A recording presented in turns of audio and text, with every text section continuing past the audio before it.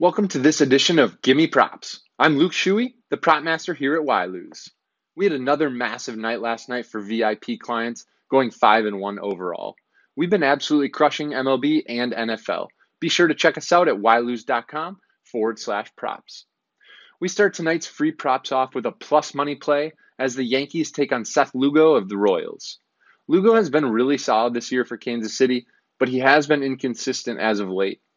Lugo's had starts where he's given up four, five, six, and seven earned runs, each in his last eight outings.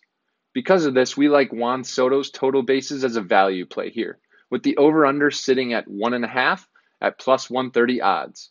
Plus 130 is simply too good a value to pass up on for a guy of his caliber. Soto's hitting 292 this year with 38 home runs, and he's 5 of 15 against Lugo in his career. We know he's coming in confident tonight. We like Juan Soto to get an extra base hit or a multi hit game here. Take Juan Soto over one and a half total bases. Free prop number two today is looking at the matchup between the Atlanta Braves and Washington Nationals. The Braves' third baseman Gio Urshela was a midseason acquisition from Detroit, and we fade him tonight. Urshela is not a power hitter, and he isn't seeing the ball particularly well. Since coming over in a trade mid August, he's had zero home runs and just four extra base hits in 18 games as a Brave. Tonight he's facing lefty MacKenzie Gore, who's pitched really well as of late. In fact, Gore just went six innings, allowing one earned run against the same Braves lineup a couple of weeks ago. In that start, Urshela was 0 for 2 against Gore.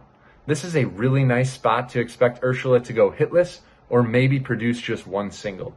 Take Gio Urshela under one and a half total bases. For our third play of the night, we're looking at a pitching statistic and Phillies veteran southpaw Ranger Suarez. He's having his best season as a starting pitcher, currently with a 12 and 6 record on the year, a 2.90 ERA, and 132 strikeouts. Suarez is going against the Rays tonight, who are amongst the worst in the MLB when it comes to swings and misses.